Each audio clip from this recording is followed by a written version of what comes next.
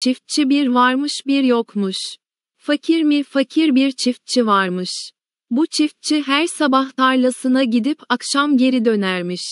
Çiftçi yine sabahın erken saatinde tarlaya gidiyormuş. Yolunda giderken kocaman bir ayı görmüş. Ayı hızlı hızlı bir şeyler yapıyormuş. Fakir çiftçi ağacın arkasına saklanmış ve ayının yaptıklarını izlemeye koyulmuş.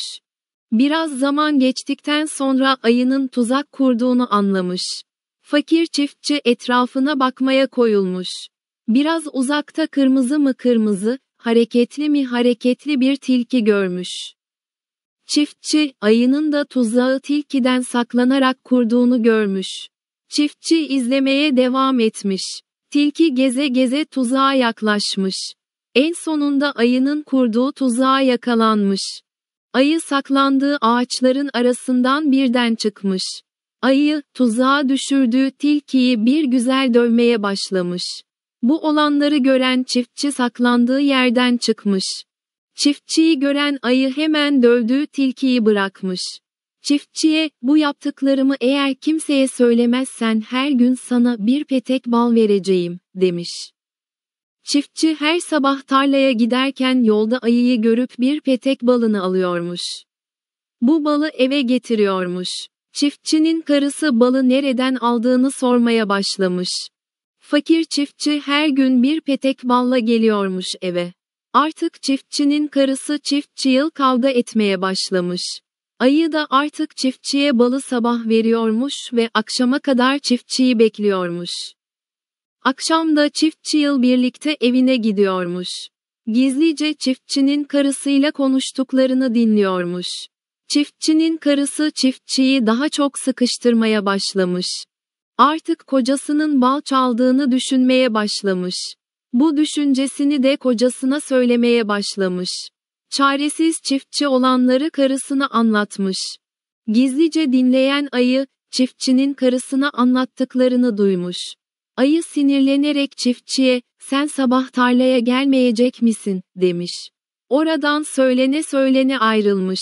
Çiftçi, ayının olanları duyduğunu anlamış. Çiftçi sabaha kadar uyuyamamış. Sabah çiftçi düşünceli düşünceli tarlanın yolunu tutmuş. Yolda ayının elinden kurtardığı tilkiyi görmüş. Tilki düşünceli düşünceli yürüyen çiftçiye ne olduğunu sormuş. Çiftçi korkarak olanları tilkiye anlatmış. Tilki, sen benim hayatımı kurtardın, ben de senin hayatını kurtaracağım, demiş. Çiftçi tilkinin bu sözlerinden sonra biraz olsun umutlanmış.